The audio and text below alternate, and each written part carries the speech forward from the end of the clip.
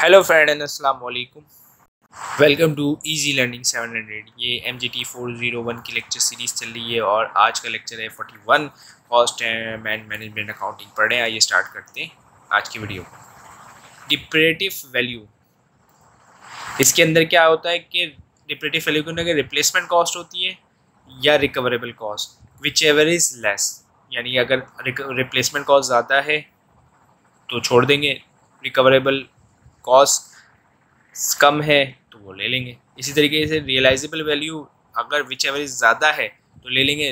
Value in use तो उसको छोड़ देंगे। In replacement the value that entity would have to recover if it will cost of यानी मतलब वो कॉस्ट जो आपकी रिकवर हो रही है, किससे? रिप्लेसमेंट से। रिप्लेसमेंट से। अब एक मशीन है, यानी क्वेश्चन दिया हुआ एक मशीन है जो कितने सत्तर हज़ार फाइव ईयर अगो यानी मतलब उसको लिया गया था it is expected that the machine will generate future revenue कितना ऑफ़ पचास हज़ार। Alternative machine could be scrap होगी, वो होगी पैंतालीस हज़ार एंड इक्विलेंट मशीन जो है वो इन द सेम कंडीशन जो है वो अड़तालीस हज़ार रुपये की मिली to buy now whether it डिपरेटिव cost बताएँ हमें। भाई, अड़तालीस हज़ार रुपये हमने, यानी कि मिल सकती है तो और हमें जो है वो पचास हज़ार रुपये इसकी जनरेशन यानी कि जो फ्यूचर में जो बनाएगा वो है। तो अब इसके अंदर क्या करेंगे?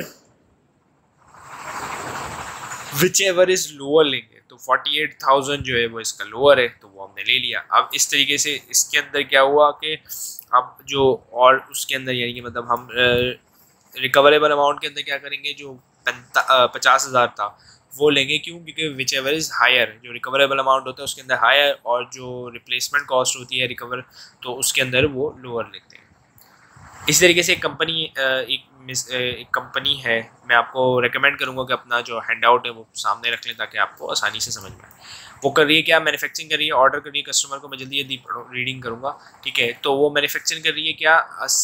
मशीन से अस्सी हज़ार रुपये एज ए प्रोग्रेस पेमेंट कितने? तीस हज़ार रुपये रिसीव फ्रॉम प्रायर लिक्विडेशन और सेल्स डिपार्टमेंट हैज़ फोकस कर रहा है billing to buy forty thousand once it is complete ठीक है कंप्लीटिंग क्या है? अब material has to be brought कितने का किया जाए? दस हज़ार रुपये का विच हैज़ को work to be it if the machine is not finish the sole to be scrap यानी अगर वो काम नहीं हुआ तो वो छः हज़ार रुपये में बिक जाएगा। और फर्दर जो है, वो लेबर जो है, वो रिक्वायर्ड होगी कितने? बारह हज़ार रुपये की labour in short supply if the machine is not finish the work the workforce would भी स्विच करेगी किसमें? एन अदर जॉब के अंदर स्विच कर दी जाएगी।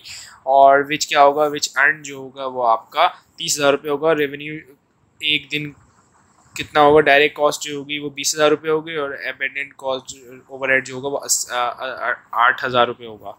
और कंसल्टेंसी फ़ी जो है वो है चौदह हज़ार रुपये if the work is not completed consultant contract to be cancel और फिर उसके एलोकेशन ऑफ़ जनरल ओवर जो है वो एक अपना दस हज़ार रुपये वुड बी एड हो गए कॉस्ट ऑफ़ एडिशनल अब क्या है? सोल्यूशन क्या है? Relevant cost must be summarise क्या कॉस्ट रेवेन्यू कितना है कंप्लीशन पे आपको मिल रहा है?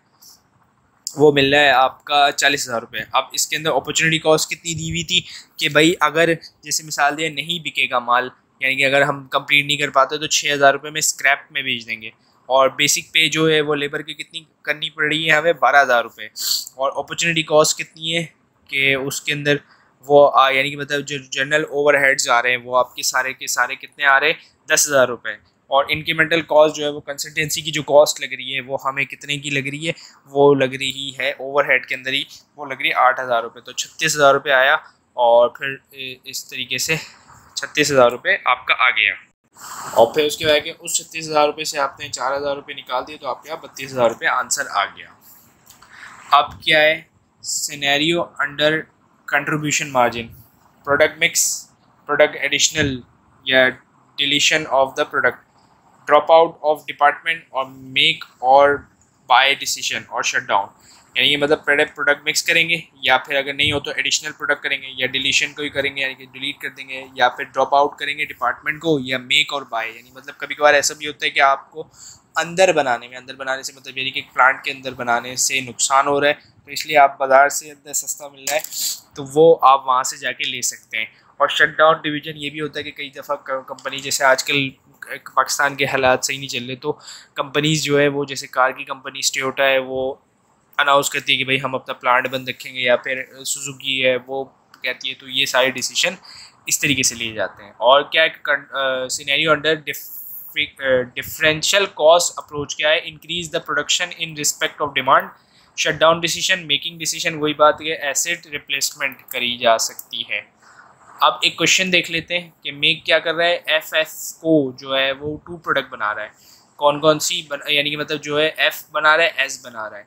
डायरेक्ट मटेरियल एक लग रहा है, तीन लग रहा है अपना एफ़ में और डायरेक्टली बस छः लग रहा है एफ़ में और तीन लग रहा है एस में। वेरिएबल कॉस्ट एक लग रहा है और उसमें भी सेल प्राइस कितनी है? चौदह रुपये और फिर उसके बाद जाके एस की जो है वो ग्यारह रुपये जुलाई के अंदर अवेलेबल होगा लिमिटेड कितनी लेबर की जो लिमिटेड एडिशन है, कितनी वो आठ हज़ार रुपये तो सेल जो है वो जो जुलाई में कितनी किसी सेल होगी, तीन हज़ार यूनिट होगी और एफ़ की और पाँच हज़ार यूनिट होगी एस की। अब है मंथली फिक्स कॉस्ट कितनी है? बीस हज़ार रुपये और ओपनिंग जो है या क्लोजिंग ओपनिंग जो है वर्किंग यानी कि स्टॉक ऑफ़ फिनिश वो जो है गुड्स का वो नहीं है और फिर क्या वर्किंग नेल भी है डिटरमाइनिंग मैक्सिमम प्रोडक्शन जो है वो करें।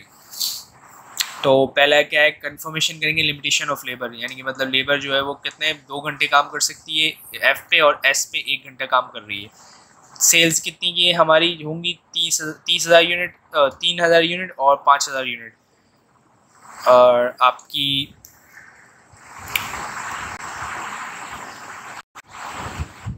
सही है। और फिर इसके बाद जाके लेबर की नीड कितनी है? छः हज़ार घंटे और पाँच हज़ार घंटे होंगे तो ग्यारह हज़ार घंटे को, जिसमें से अवेलेबल हमारे पास कितने हैं? आठ हज़ार घंटे ही अवेलेबल है। शॉर्टेज कितनी है? तो labour is limited for this factor in production identify गया है कॉन्ट्रीब्यूशन अर्निंग अर्निंग कितनी earning by each product each product कितनी? सेल्स कितनी है?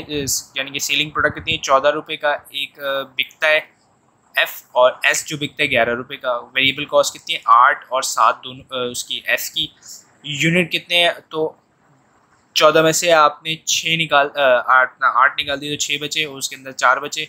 और लेबर जो है वो आर यानी कि लेबर पर आर कितना है? दो घंटे, एक घंटे, और फिर कंट्रीब्यूशन पर लेबर जो है वो तीन और चार घंटे हैं। अब डिटरमाइन कर रहे हैं किसका? सोल्यूशन का, कि भाई डिमांड कितनी है आपकी? वो है पचास और फिर उसके बाद जाके आवर्स अब रिक्वायर्ड कितने वो भी पाँच हज़ार है और पाँच हज़ार है। और एफ़ जो है वो भी तीन हज़ार और छः हज़ार है। ग्यारह हो गए और हमारे पास अवेलेबल कितने आवर्स हैं? आठ घंटे, जिसमें हमने डिवाइड किया पाँच, उसको दे दिए एफ़ को और एस को तीन घंटे दे दिए। अब इस तरीके से हमने क्या किया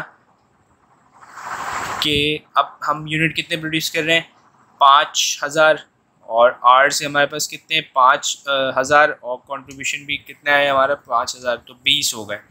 इसी तरीके से आपके तीस, तीन यूनिट जो है, वो बिक रहे हैं। तो वो तीन हज़ार है और छः हज़ार आपके आर्स नीडेड है और फिर कंट्रीब्यूशन जो है वो तीन हज़ार है। तो ग्यारह हज़ार आपके पास आ गए और आठ हज़ार उसके आ गए। तो जो फिक्स कॉस्ट थी आपके पास, दो हज़ार सवाल में दी हुई तो नौ ये थोड़ा सा स्लाइड का मसला है, आपको स्लाइड शेयर कर दी जाएगी। तो ये नौ हज़ार आपके पास आ गए। मैं उम्मीद करता हूँ ये आपको वीडियो समझ में आई होगी। Thank you for watching this video